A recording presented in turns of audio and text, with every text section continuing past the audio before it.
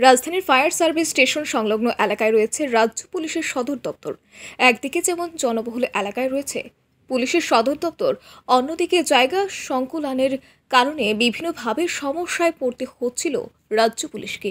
স্বাভাবিকভাবে পুলিশের সমস্ত ইউনিটের দপ্তর রয়েছে পিএইচকিউতে এই অবস্থায় রাজধানীতে নতুন করে সদর দপ্তর তৈরির প্রয়োজনীয়তা দেখা দেয়। কিন্তু বিগত দিনগুলিতে পুলিশ সদর দপ্তরকে অন্যত্র সরানোর কোনো পদক্ষেপ লক্ষ্য করা যায়নি। কিন্তু রাজ্য পুলিশের নতুন মহানির্দেশক অমিতাভ রঞ্জনের দায়িত্ব নেবার পর থেকেই বিষয়টির উপর জোর দেন। সেই সাথে মুখ্যমন্ত্রী ডক্টর মানিক শাহও নতুন ভবন তৈরির ক্ষেত্রে বিশেষ গুরুত্ব আরোপ করেন। মহাকরণ সংলগ্ন এলাকায় চিহ্নিত হয় এক একর জায়গা।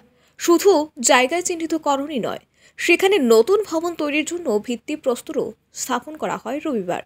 এদিন ভূমি পূজনের মাধ্যমে নতুন ভবনের ভিত্তিপ্রস্তর স্থাপন করেন মুখ্যমন্ত্রী ডক্টর মানিক সাহা। তিনি বলেন, বর্তমানে যতটুকু জায়গা রয়েছে তা অনেকটাই কম। তবে চেষ্টা চলছে জায়গা আরও বাড়ানোর। তিনি আরও বললেন, নতুন ভবন তৈরি হলে পুলিশের কাজ করা অনেক সহজ হবে। এই এই অনেক দিন ধরে new police headquarter Tripura. Demand ছিল এটা কারণ আহ, জায়গার ওখানে হচ্ছিল না। তো এখানে আমরা অনেক দিন ধরেই জমি খুঁজছিলাম। আমাদের ডিজিপি সাহেব নতুন এখানে জয়েন করার পর উনিও বলছিলেন যে এটা যত তাড়াতাড়ি সম্ভব জায়গাটা চিহ্নিত করা এবং সেখানে ভূমি পূজন করা এখন তো ভূমি পূজন হলো জায়গা আরও দরকার এখানে এক একর জমি আছে আরও লাগবে অ্যাজ পার রুলস তো এটা আমরা দেখছি কিন্তু এখানে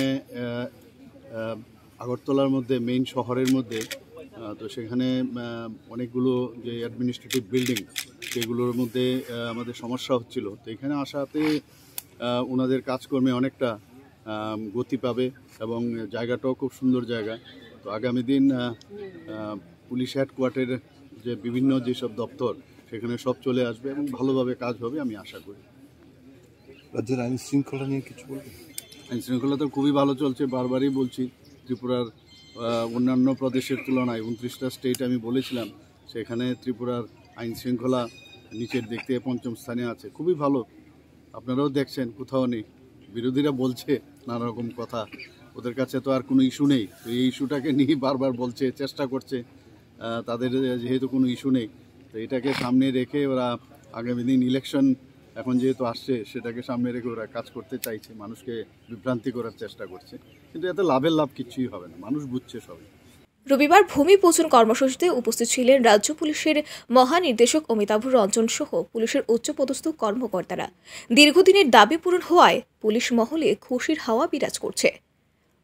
রিপোর্ট আর ই নিউজ।